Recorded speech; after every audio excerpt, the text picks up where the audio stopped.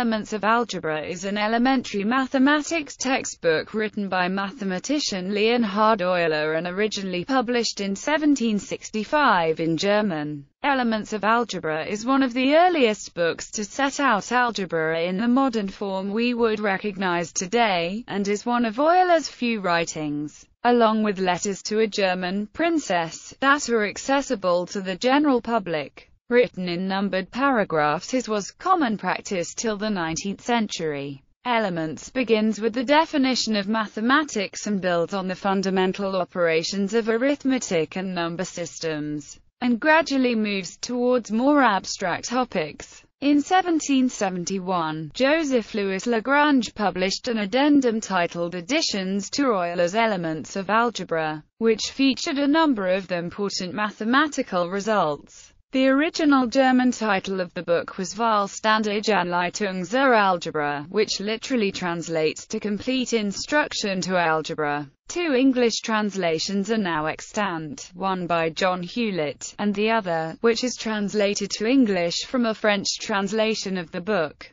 by Charles Tylor. On the 300th birth anniversary of Euler in 2007, mathematician Christopher Sangwin working with Tarquin Publications published a digitized copy based on Hewlett's translation of the first four sections of the book. In 2015, Scott Hecht published both print and Kindle versions of Elements of Algebra with Euler's Part 1, Part 2, Lagrange's additions, and footnotes by Johann Bernoulli and others.